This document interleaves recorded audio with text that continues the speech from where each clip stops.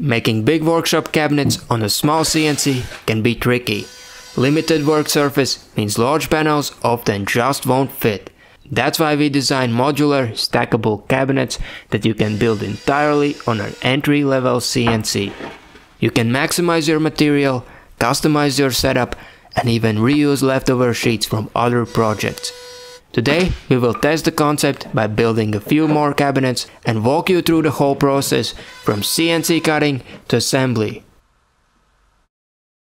The concept is simple. Instead of building one large cabinet, we split it in multiple sections.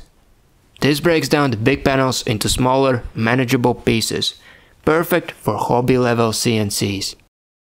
You can stack the modules in any order that fits your workshop, with different sizes and layouts giving you full flexibility for your own setup.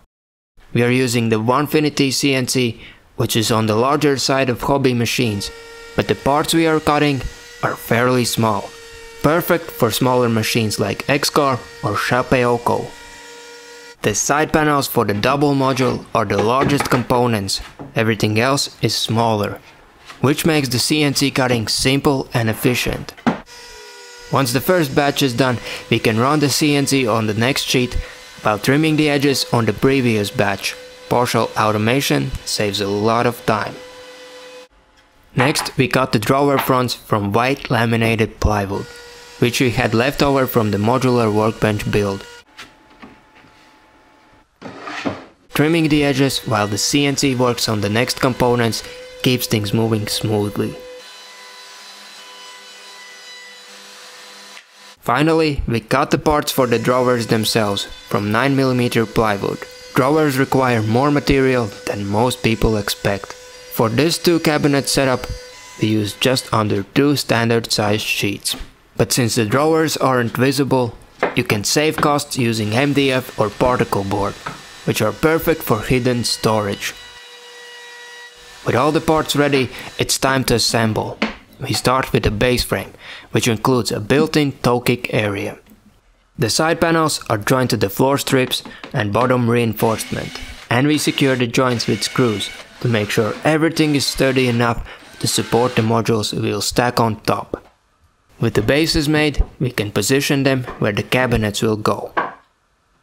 Now we can start assembling the smallest modules. The floor panel slips neatly between the side panels, and the subtops are added followed by the back panel.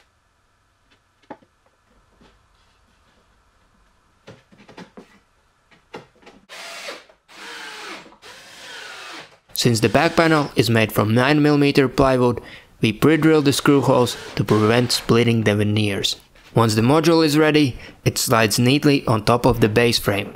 The floor panel fits perfectly between the smaller floor strips, locking everything together. Simple, beautiful, and effective, without any extra components or complicated joinery. Minimalistic solutions like this always look simple, but they are deceptively tricky to get right. Even after building more than 350 projects, it took me multiple attempts to get the stackable joint concept just right. It's one of those satisfying little design problems where everything clicks without needing extra parts. The double module follows the same assembly steps. Frankly, the only difference is the size of the side and back components. The joinery and the floor component sizes are the same. This allows us to create many different cabinet configurations or even stack them higher than you normally would. Complete creative freedom. After placing the last module on the tower, we can rearrange the sections that would work best for our workshop. When we have the module layouts figured out, we ran into a small problem. The dust collection tube is in the way, which means we have to make some adjustments. Therefore, I'm marking the collection tube position on the cabinet components, and then we can take the top module to make the necessary cuts. Looking back, I probably should have made the dust cabinet a bit taller, so the collection tube wouldn't get in the way of the cabinets.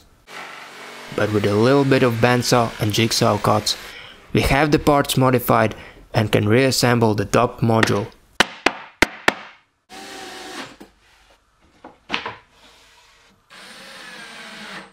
After adding the assembly back to the stack, we can slide it into the place perfectly. The cut in the subtop is a little generous, but it works.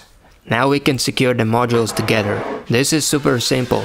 Since the lower module walls overlap with the upper module floor component, we can simply add a screw at each corner and everything forms one rigid assembly.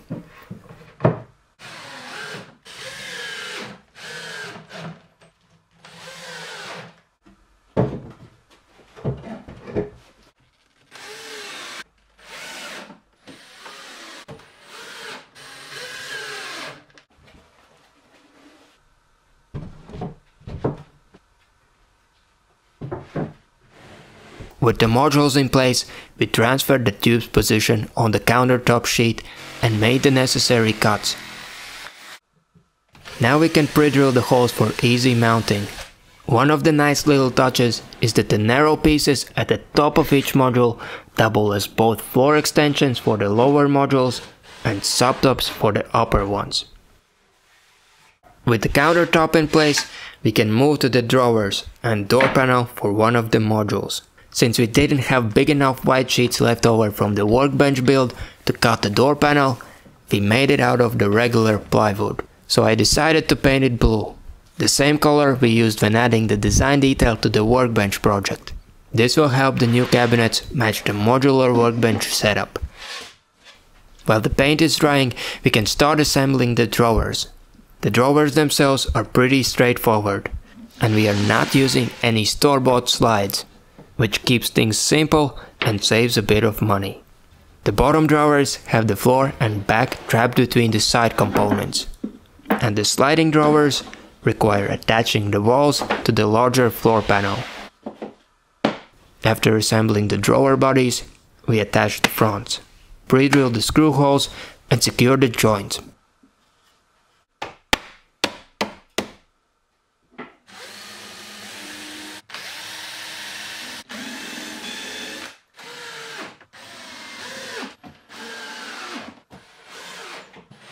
The last touch, adding the handles.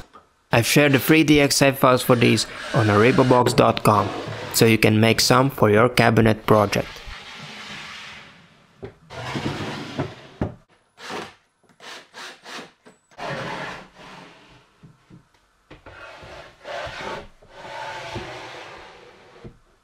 When the last drawer is in place, we can attach the door panel it requires securing the hinge fittings to the doors and the cabinet wall.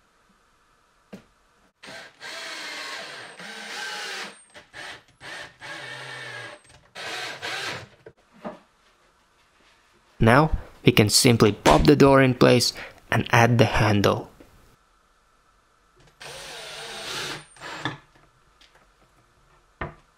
The cabinets are a great addition to the workshop setup. The only remaining adjustment is filling the gap between the new setup and the CNC table, which we solve by moving the bandsaw cabinet into place. The modular cabinet project turned out to be a really satisfying build. I like how you can stack the modules however you like, even taller than the standard cabinet.